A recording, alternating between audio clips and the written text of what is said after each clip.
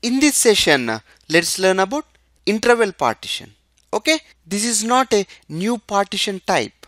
Okay, this is just an enhancement to the range partition in Oracle 11g. Okay, why enhancement? There is a drawback to the range partition.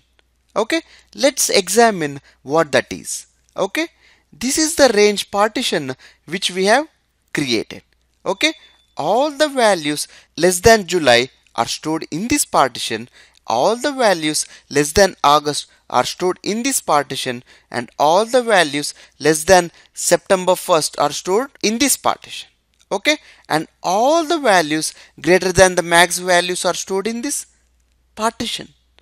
You see you are saying apart from these partitions store the remaining data into this partition that means we are overburdening this partition, right? Example, we are storing 2016 data, 2017 data. Like this, as the data grows, there will be lot of data in this partition, right? Yes. But what if we remove this? We remove this entire statement partition sales pmax values less than max value. What happens? If you try to insert any row with a order date greater than September 1, it will say inserted partition key does not map to any partition. It will throw that error. How do you avoid that? One method is every month you keep on adding a partition. But that's lot of work, right? Every month you need to go and say, okay, let me add another partition to this table. Again, coming month you need to go and add a partition. Right? What if oracle itself creates the partition whenever it detects a new partition key? It will be cool right? Yes. Exactly that is what it is.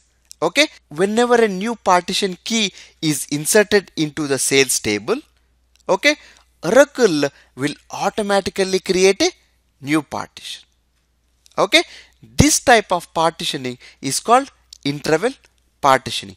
All I have to do is specify my interval.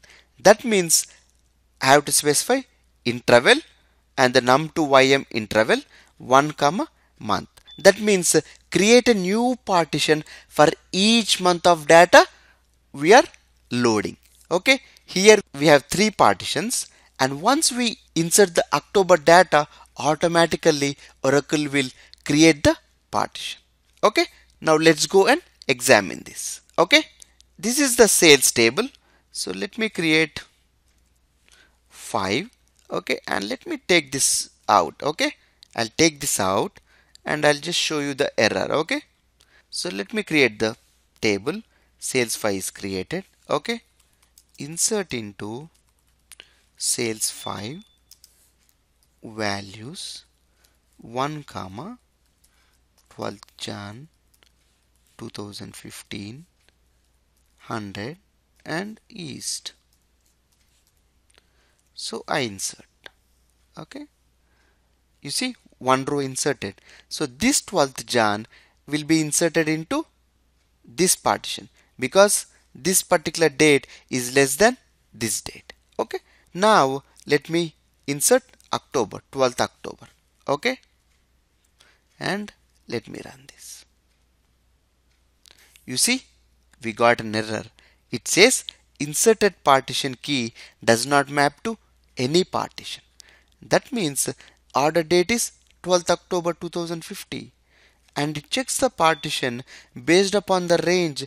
It does not fit into any of these three partitions. Because what is the highest range value? It is 2015 September 1st but our value is greater than that. So it didn't find a partition. Right? So now let me create the sales 5 table and convert this range partition into a interval range partition. Okay? So now let me drop this table. Drop table. Okay? And now let me clear it and say interval. Okay? Num to ym interval so we want for every month right? 1 comma and the frequency is month bracket and another bracket goes that's it. We converted this partition from a range partition to range interval partition. Okay? Now let me create this table. Sales 5 sales 5 is created. Okay? Let me show you how many partitions are there in this table. Okay? I will use a meta table called all tab partitions okay? So all tab partitions. And let me run that. Test all the tables. Let me look for the table sales 5 okay? Sales 5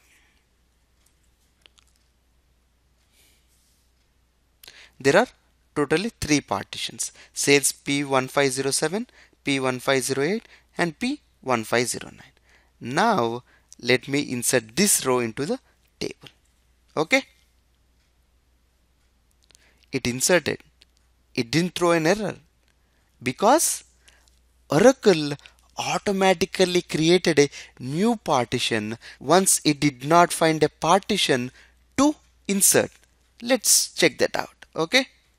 So let's go here and run you see?